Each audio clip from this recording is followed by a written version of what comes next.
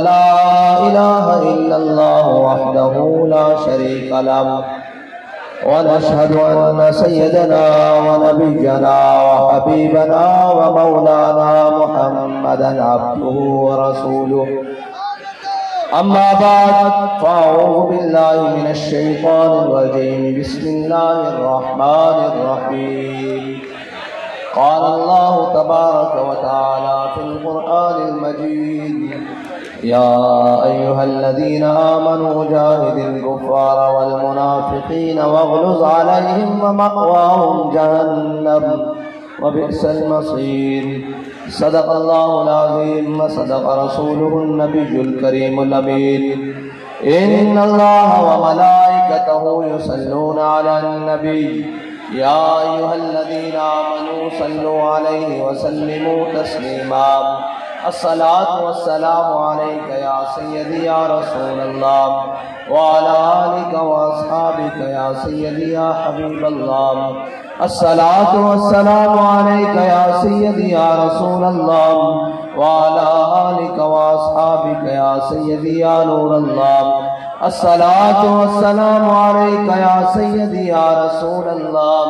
वाला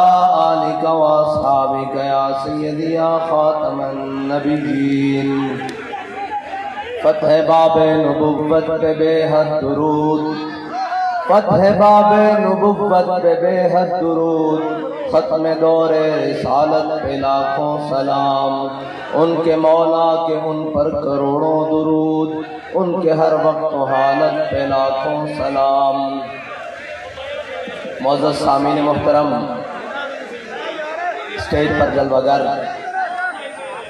तहरीक लब्बैक पाकिस्तान के मरकज़ी अहदेदारान कराम मशाइ ज़ाम और हम सब उर्दू सईदम सल्ला के ग़ुलाम। आज हम हाफिज जैन शहीद के ख़त्म चहलम पर जमा हुए हैं। और इस इज्तम का मकसद दो हरफी है। वो ये है कि कायनात का कोई भी जलील ये समझता हो कि शायद कोई दो इंच की गोली चलाकर, कोई डरा कर कोई धमका कर ताजदार ख़त्म नबूवत के नारे को रोक सकता है। तो हम ये बताने के लिए आए हैं कि चलाओ गोलियाँ, ये सीने हाजिर है। ये नारा लग रहा है नारा ताजदार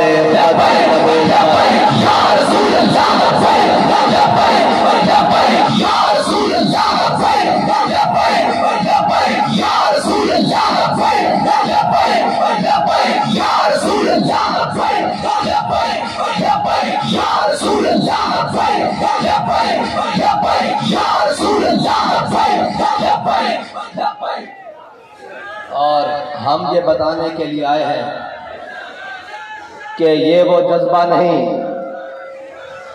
जो गोलियों से रोका जा सके। ये वो जज्बा नहीं जो खौफ फैलाकर रोका जा सके। ये वो जज्बा है जो यमामा में भी जाकर नहीं रुकता। और ये वो जज्बा है जो असवद अंसी को काट कर भी नहीं रुकता। और ये वो जज्बा है जो मुसलमा कजाब को काट कर भी नहीं रुकता। और ये वो जज्बा है जो गवर्नर वक्त को सताइस पार करके भी नहीं रुकता।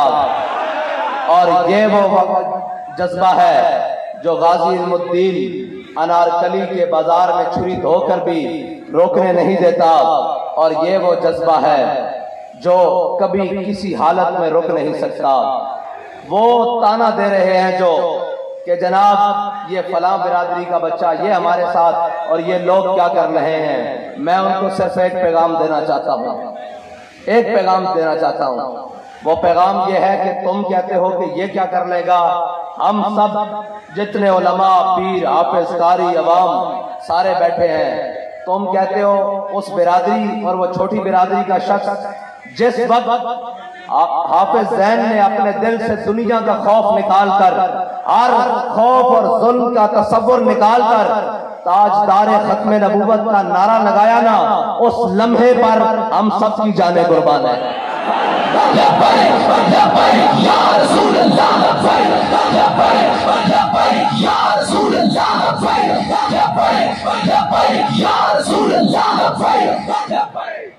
ऐसे हसीन वक्त के लिए तो हम जीते फिरते हैं। ऐसे हसीन लम्हों के लिए तो हम जिंदगियाँ लिए फिरते हैं। और ऐसे वक्त का इंतज़ार तो हमें ज़िंदगी भर है कि ऐसे हाथ उठे हुए हों और तवज्जो तैबा की तरफ़ हो और कोई आके घुसे हमारे सीने में और फवारेदार खून निकले और हज़रत अब्दुल्ला बिन जाश की सुन्नत अदा हो जाए। हम ज़िंदगी लिए इसलिए फिरते हैं। कोई ये समझता है कि इन्हें ये खौफ दिलाकर, इन्हें ये डराकर, धमकाकर एक जैन शहीद नहीं, करूँ तेरे नाम पे जा कुर्बान। सारे हम इसी मकसद के लिए जीते फिरते हैं। बाकी ये जनाब, ये सारी बातें करना और ये दाएँ बाएँ, ये तो हमारे उल्टे हाथ का खेल है। हमारी जिंदगियों का मकसद है ये कि हम इस ज़िंदगी को हजूर के नाम पर कुर्बान कर दें। और इस जिंदगियों को जो पीछे रह गए ना, बस इतनी सी बात है कि वो पिछली सफों में रहे। बस दो अर्थी बात है, वो अगली सफों में ना घुसे। उन्हें मतलब नहीं पता, उन्हें माना नहीं पता कि ये मसला है कितना नाजुक। ये मसला है कितना हसास। अगर उन्हें नहीं पता तो वो हमारे पास आकर बैठकर सीखें पहले। फिर हमें उन्हें बताएँगे। जिन्होंने घूमने वाली कुर्सियों पर और सारी ज़िंदगी हाथ चुमाए हो ना, उन्हें खत्म नबूवत का मसला अभी पूरी तरह समझ नहीं आया। और रही ईमान की बात तो शाह साहब ने बात की, ईमान की। अगर ईमान लाने पर तुम कहते हो, एक मरजई, एक मुसलमान को गोली पड़े और कलमा पढ़ ले, इसके लिए भी हम हाजिर हैं। लाओ गोलियाँ पढ़ते चलो कलमा, और हमारे सीने हाजिर है। करो ईमान कबूल। हम यही समझेंगे कि हम अपनी जान देकर तुम्हें हजूर के दामन से वाबस्ता कर गए। और ये जान रखी है हम तो आज भी कहते हैं, छोड़ो सबको, हमें गोली मारो, जो तुम्हारा दिल करता है मारो। आओ हजूर के दामन से वाबस्ता हो जाओ। आओ, हजूर के दामन से वाबस्ता हो जाओ। और हम एक बात बड़ी खुली और वाज बताना चाहते हैं।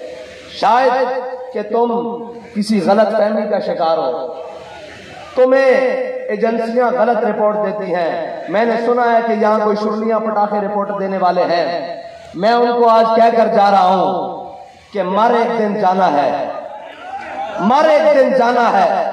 ताजुल है वक्त का अगर तुम्हारी सारी ज़िंदगी में इतने लोग फातिया के लिए आ जाए, हमें आगे पकड़ लेना। अगर इतने लोग, जनाजा तो बड़ी दूर बात है, पहले दिन से गिनने शुरू करना। और आखिरी दिन तक रहती दुनिया तक अगर तुम्हारी फातिया के लिए भी इतने लोग आ जाए ना तो हमें आगे पकड़ लेना। बाबा जी फरमाते सन, जनाजे बड़े इंज नहीं होंगे जनाजे बड़े करने वास्ते हुजूर की गुलामी करनी पैंती अच्छा ਤੁਹਾਨੂੰ ਸਾਰੀ ਜ਼ਿੰਦਗੀ ਕਦੀ ਮੌਕਾ ਨਹੀਂ ਮਿਲਿਆ ਕੋਈ ਗੱਲ ਨਹੀਂ ਕਦੀ ਨਹੀਂ ਮਿਲਿਆ ਹੁਣ ਖਾਲਿਸਤਨ ਹਜ਼ੂਰ ਦੀ ਖਤਮੇ ਨਬੂਵਤ ਦਾ ਕੇਸ ਤੁਹਾਡੇ ਕੋਲ ਆਇਆ ਕਲਮਾ ਤੁਸੀਂ ਵੀ ਪੜਿਆ ਅਸੀਂ ਕੀ ਸਮਝੀਏ ਕਿ ਹਰਾਮ ਤੁਹਾਡੀ ਰਗਾਂ ਵਿੱਚ ਇਤਨਾ ਰਚ ਬਸ ਗਿਆ ਕਿ ਤੁਹਾਨੂੰ ਆਪਣੇ ਬੇਗਾਨੇ ਦੀ ਤਮੀਜ਼ ਖਤਮ ਹੋ ਗਈ ਸਾਨੂੰ ਹੱਕ ਲੈਣ ਵਾਸਤੇ ਅਦਲ ਉਤੇ ਫੈਸਲਾ ਕਰਾਉਣ ਵਾਸਤੇ ਇਤਨਾ ਜ਼ੋਰ ਲਾਣਾ ਪੈ ਰਿਹਾ ਕਿ ਤੁਹਾਡੀ ਮਾਵਾਂ ਨੇ ਤੁਹਾਨੂੰ ਸੱਚ ਕੇ ਯਾ ਰਸੂਲullah ਦੀ ਲੋਰੀ ਨਹੀਂ ਦਿੱਤੀ जड़ी मौलवी साहब आके थोड़े सज्जे के खब्बे कान विच अजान दे के गए सन भूल गए हो। हुजूर का हक भूल गए हो। अगर भूल गए हो तो याद रखना, वो हक लैन वास्ते असि हर वक्त मैदान में हाजिर हाँ और सानू हक बड़े चंगे तरीके नाल लेना आंदा। ਨਾਲ ਲੈਣਾ ਆਉਂਦਾ ਔਰ ਬੜੇ ਤਰਤਬੇ ਨਾਲ ਲੈਣਾ ਆਉਂਦਾ ਫਿਰ ਤੁਹਾਡੇ ਵੱਡੇ ਛੋਟੇ ਆ ਕੇ ਗੋਡਿਆਂ ਤੇ ਹੱਥ ਹੱਥ ਰੱਖ ਕੇ ਕਹਿ ਰਹੇ ਹੁੰਦੇ ਨੇ ਕਿ ਸ਼ਾਦੀ ਜਾਣ ਦਿਓ ਆਪੇ ਸਾਹਿਬ ਜਾਣ ਦਿਓ ਸਾਰੀਆਂ ਗੱਲਾਂ ਛੱਡੋ ਹੁਣ ਅਸੀਂ ਤੁਹਾਡੀਆਂ ਗੱਲਾਂ ਮੰਨਣ ਵਾਸਤੇ ਤਿਆਰ ਆ ਅਸੀਂ ਤੁਹਾਨੂੰ ਬੜੇ एहतराम के नाल और बड़े नब्बे तुलबे अल्फाज के अंदर कह रहे हैं के इंसान के बच्चे बनो, वरना बाबा जी आला जलाल भी साढ़े को मौजूद है, जमाल भी साढ़े को मौजूद है, अल्फाज भी साढ़े को मौजूद हैं, ते तरीकाकार भी मौजूद है करके हैं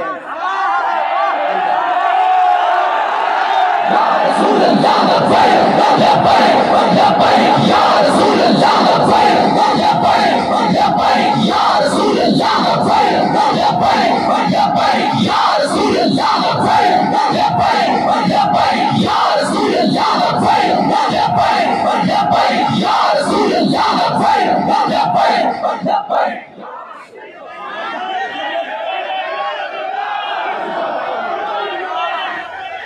और मुजाहिदीन ख़त्म नबूवत, हज़रत जनाब सईदना सिद्दीक अकबर तो लेके हाफिज जैन शहीद तक पूरी तारीख बड़ी पई। हजूर की खत्म नबूवत के उत्ते कदी भी गल एंड सिर झुका के नहीं हुई। सिर चुक के हुई। और सिर रिया सलामत या नहीं, इस गर्ज नहीं। मालका की खत्म नबूवत का ताज उस तरह चमकता रहा। और एक कयामत तक चमकता रहेगा और एक गल घटनी नहीं है गल बदली बिल्कुल एक गल बदली और एक बद चुकी एक गल बद चुकी ਅਸੀਂ ਤੁਹਾਨੂੰ ਕਹਿੰਦੇ ਆ ਕਿ ਉਸ ਵਕਤ ਤੋਂ ਪਹਿਲੇ ਪਹਿਲੇ ਕਿ ਇਹ ਗੱਲ ਦੇ ਨਾਲ ਇਹ ਹੱਥ ਵੀ ਤੁਹਾਡੇ ਗਰੇਬਾਨ ਤੱਕ ਆ ਜਾਣ ਉਸ ਤੋਂ ਪਹਿਲੇ ਪਹਿਲੇ ਆਪਣੀਆਂ ਸਫਾ ਦਰੁਸਤ ਕਰ ਲਓ ਉਸ ਤੋਂ ਪਹਿਲੇ ਪਹਿਲੇ ਆਪਣੇ ਦਿਮਾਗ ਦੇ ਅੰਦਰ ਤੁਹਾਡੇ ਕੋਈ ਗੰਦ ਹੈ ਤਾਂ ਉਸ ਨੂੰ ਸਾਫ਼ ਕਰ ਲਵੋ ਵਰਨਾ ਉਸ ਤੋਂ ਲੈ ਕੇ ਥੱਲੇ ਤੱਕ ਇਹ ਨਾ ਹੋਵੇ ਤੁਹਾਡੇ ਹੱਥ ਬੰਨੇ ਹੋਣ ਤੇ ਫਿਰ ਤੁਹਾਡੇ ਕੋਲ ਨਾਰਾ ਲਵਾਇਆ ਜਾਵੇ ਤਾਜਦਾਰੇ ਖਤਮ ਨਬੂਵਤ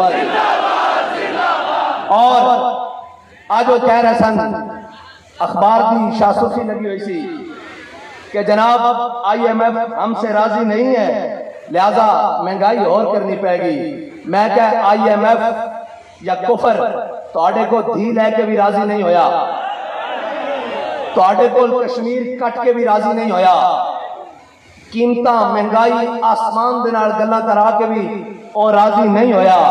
बाबा जी तो दस के गए इन्हें कभी राज़ी होना ही नहीं, कुरान की नस तो साबित है। अगर इन्हों राज़ी करना जे तो अज वापस आ जाओ, क्योंकि मेरे हाथ में था जब तक मेरे मुस्तफ़ा का दामन, मेरे पाँव चूमती थी यही गर्दश है जमाना। अगर तुसा राज़ी करना तो अज आ जाओ। ए राज़ी ना हो थोड़े पिछे अज हाथ बन के फिरते फिर करके। कि साड़ी जान छो किस तरीके अपनी अखा नहीं देखे अफ़गानिस्तान मिन्नत करते फिरते सन सा मुलाकात करा दो छो यार, दूर की गल। जे अपने नहीं सन मिलते कभी किसी पीर को सन किसी आस्थाने को समझाओ जी सा गल कराओ इन्हों गल हक उत्ते खिलोण की गल है आ जाओ अच्छी हजूर के दामन वाबस्ता हो जाओ। ਤੁਹਾਡੇ ਕੋਲ ਮੌਕਾ ਉਹ ਰਾਜ਼ੀ ਉਹ ਕਦੀ ਵੀ ਰਾਜ਼ੀ ਨਹੀਂ ਹੋਣਗੇ ਬਾਬਾ ਜੀ ਫਰਮਾਉਂਦੇ ਸਨ ਚੇਸ਼ਨੀਆਂ ਦੇ ਮੁਸਲਮਾਨਾਂ ਨੇ ਉਹਨਾਂ ਨੂੰ ਰਾਜ਼ੀ ਕਰਨ ਵਾਸਤੇ ਆਖਰੀ ਹੱਦ ਤੱਕ ਗਏ ਲੇਕਿਨ ਉਹਨਾਂ ਨੇ ਆਖਰ ਤੇ तमाम बेहयाई ਦੀਆਂ ਹਦਾਂ ਉਬੂਰ ਕਰਨ ਤੋਂ ਬਾਅਦ ਵੀ ਕਿਹਾ ਕਲਮਾ ਪੜਦੇ ਹੋ ला इला पढ़ते हो थोड़ी साड़ी दोस्ती नहीं हो सकती अज भी थोड़े को मौका। जो तक ला इला मुहम्मद रसूल्ला पढ़ते हो थोड़े तो कोई काफिर राज़ी नहीं हो सकता थोड़े तो कोई मुनाफिक राज़ी नहीं हो सकता वो कभी इधर की गल करेगा कभी इधर की गल करेगा। वो तो माशी तरीके फसाएगा।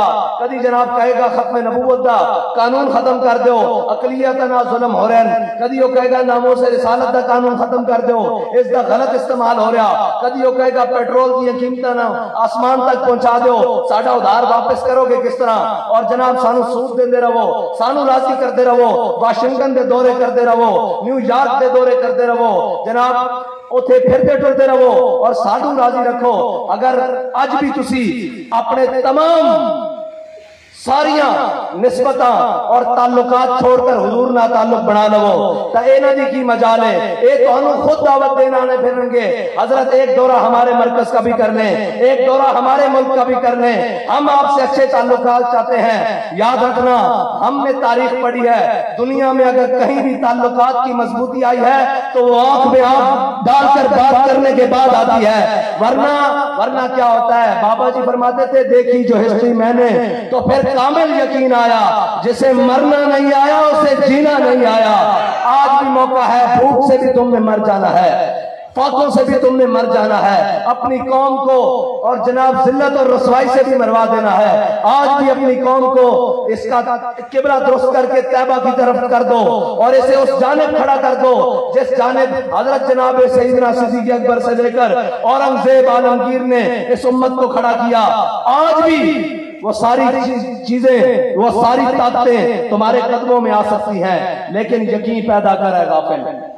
यकीन पैदा करो। क्या बे यकीनी बाबा जी फरमाते सन, ओए, गुलामी जड़ी ना, वो कुत्ते नालों भी बैठी, ते बे यकीनी गुलामी नालों भी बैठी। जे तुसी ज़िंदगी जी रहे हो, ये गुलामी नालों भी बैठी। लोग कह रहे ना ना, ये बे यकीनी दी ज़िंदगी।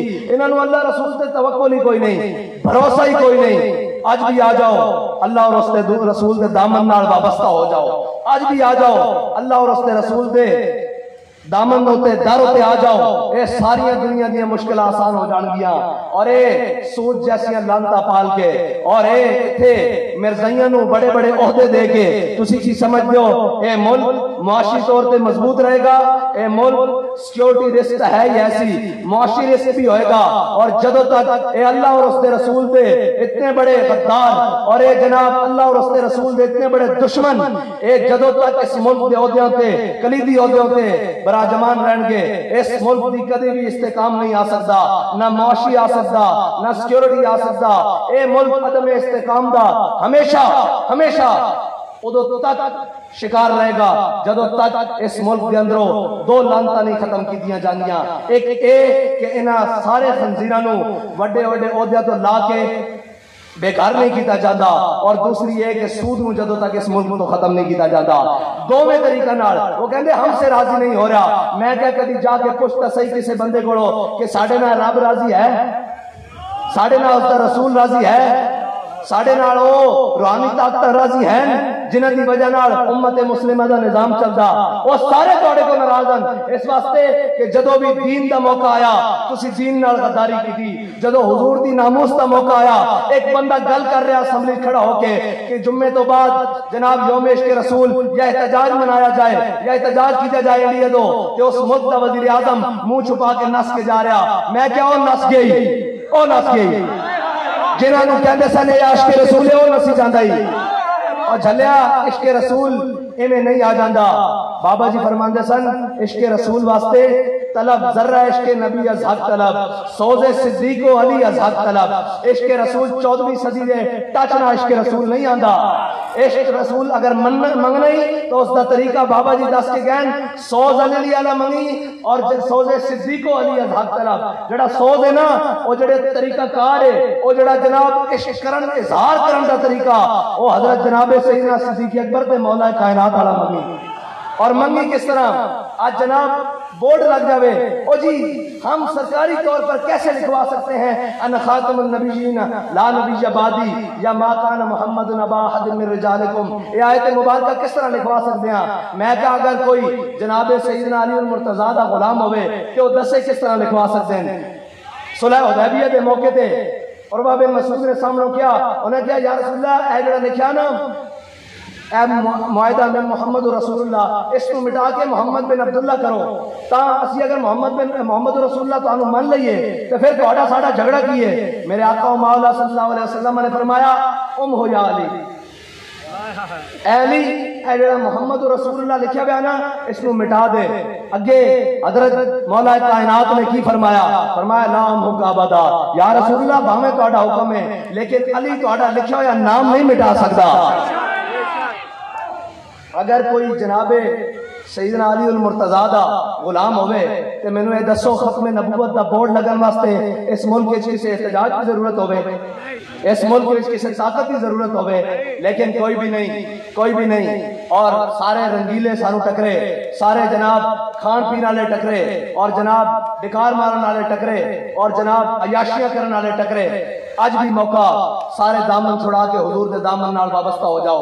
वरना ਅਲੀ ਜ਼ੈਨ ਸ਼ਹੀਦ ਦੀ ਤਰ੍ਹਾਂ ਇਹ ਤਾਂ ਗੱਲ ਪੱਕੀ ਹੈ ਕਿ ਇਹ ਮੁਲਕ ਸਾਡਾ ਅਸੀਂ ਬੜੇ ਬੜੇ ਮੌਕਿਆਂ ਦੇ ਉੱਤੇ ਬੜੇ ਤਹਮਲ ਦੇ ਨਾਲ ਹਰ ਚੀਜ਼ ਨੂੰ ਅੱਗੇ ਲੈ ਕੇ ਚੱਲ ਰਹੇ ਹਾਂ ਅਗਰ ਇਹ ਗੋਲੀ ਜ਼ੈਨ ਸ਼ਹੀਦ ਦੇ ਜਿਸਮ 'ਚ ਘੁਸ ਸਕਦੀ ਤੇ ਉਸ ਦੇ ਕਾਤਲਾਂ ਦੇ ਜਿਸਮ ਵਿੱਚ ਵੀ ਘੁਸ ਸਕਦੀ ਹੈ ਇਸ ਨੂੰ ਰੋਕ ਕੋਈ ਨਹੀਂ ਸਕਦਾ या रसूल अल्लाह लब्बैक लब्बैक लब्बैक ਇਸ ਵਾਸਤੇ ਅਸੀਂ ਇਹ ਸਮਝਦੇ ਹਾਂ ਇਹ ਮੁਲਕ ਸਾਡਾ ਇਸ ਮੁਲਕ ਦੇ ਆਇਨ ਨੂੰ ਬਣਾਉਣ ਵਾਸਤੇ ਸਾਡੇ ਵੱਡਿਆਂ ਨੇ ਕਿਰਦਾਰ ਅਦਾ ਕੀਤਾ ਇਸ ਮੁਲਕ ਨੂੰ ਜਨਾਬ ਹਿੰਦੁਸਤਾਨ ਤੋਂ ਆਜ਼ਾਦ ਕਰਨ ਵਾਸਤੇ ਸਾਡੇ ਵੱਡਿਆਂ ਨੇ ਕਿਰਦਾਰ ਅਦਾ ਕੀਤਾ ਅਸੀਂ ਇਤਮਾਦ ਕਰਦੇ ਹੋਏ ਆਪਣੇ ਮੁਲਕ ਦੇ ਕਾਨੂੰਨ ਦੇ ਹਵਾਲੇ ਕੀਤਾ ਅਗਰ ਉਹ ਕਾਨੂੰਨ ਤੁਸੀਂ ਨਹੀਂ ਮੰਨਦੇ ਤੇ ਸਾਡੇ ਕੋਲ ਆਪਣਾ ਕਾਨੂੰਨ ਵੀ ਹੈ ਜਿਸ ਦੇ ਨਾਲ ਫਿਰ ਤੁਹਾਡੀਆਂ ਲੱਤਾਂ ਕਮੜਦੀਆਂ ਨੇ ਕਰਕੇ ਐਂ ਕਰਕੇ और वो साढ़े को कानून मौजूद है और मैं पहले दस चुकिया कि दुश्मनी और धरा कुटना मुसलमानों तो बाद किसी को आंदा ही नहीं।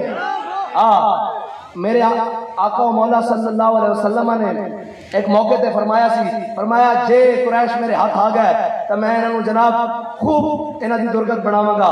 और मफहूम है वे, ते जदों हुजूर सैयद आलम सल्लल्लाहु अलैहि वसल्लम फतेह मक्का वास्ते गए ना हजूर ने आप आम माफ़ी का ऐलान कर देता। हज़रत खालिद बिन वलीद जिस तरफ़ दाखिल होए, उधरों मुशरकिन ने कोई अगो उन्होंने नौजवानों ने कोई लड़ाई की थी। उधरों तलवारा चमक दिया नज़र आई तो मेरे आका मौला सल्लाम ने एक साहबी ने दौड़ाया। फरमाया जाके खालिद ने कहो कि हाथ मठा कर दे, हल्का कर दे। हाथ हल्का कर दे। जो वो साहबी जा रहा ना, रस्ते च उन्होंने एक फरिश्ता मिले वो फरिश्ता मिले वो एक वो गल तुम बाद सुना फरिश्ता मिल गया। हज़रत खालिद बिन वलीद को जाकर उन्होंने क्या, हजूर फरमा रहे कि तलवार तेज कर दो। हज़रत खालिद बिन वलीद ने बड़े बंदे बढ़ के रख देते। जो हजूर का सामना होया, हजूर ने फरमाया, खालिद, मैं तेन पैगाम भिजवाया कि तलवार मठा कर दे, आस्था कर दे। उन्हें कहा यार रसूला मेरे को पैगाम पहुँचा कि तलवार तेज कर दे। हजूर ने उन्हें साहबी को बुला लिया। उन्हें पूछा थानू मैं क्या कि भेजे सी कि खालिद ने कहो तलवार आस्था कर दे? ए तुसी की क्या? उन्हें कहा यार रसूला मैं जा रहा सी, रास्ते च मैनू फरिश्ता मिलया, जिस दा सिर आसमान दे नाल लग रहा सी। उस दियाँ जुल्फा जनाब इथे गिटिया तक पै रही सन। उन्हें मैनू क्या जाके कहना कि खालिद को तलवार तेज कर दे। हजूर ने इस तरह आसमान की तरफ़ निगाह बुलंद की थी फरमाया, एक मौके ते मैं क्या सी कि अगर मुश्किल यकीन मेरे काबू च आ गए तो मैं जनाब, इन्हों का रगड़ा कर देंगा। आज अल्लाह ने गल पूरी कर दी याद रखना याद रखना कि सानू सारिया गल्लां आंदियाँ और सारिया जे गोली दो इंच की उन्होंने साढ़े शहीद के जिसम से घुस सकती तो कातला घुसाना कोई मसला नहीं। कोई गल ही कोई नहीं है तरीकाकार। लेकिन असं ये समझते हैं कि इस कानून के हवाले किया कानून वाले कानून के तरीके बंदे के पुत्र बन के काम कर वरना यह ना हो कि सिनिया ना सुखियाँ भी रगड़िया जान, और सुखिया ना सिनिया भी रगड़े जान। अल्लाह ताला अल्लाह ताला सानू शहादा वारसा बिल्कुल खलूस के खड़े होने की तोहफी अता फरमाए। और हर किस्म के लालच तो दूर होके हजूर की खत्म नबूबत का परचम बुलंद करने की तोहफी अता फरमाए।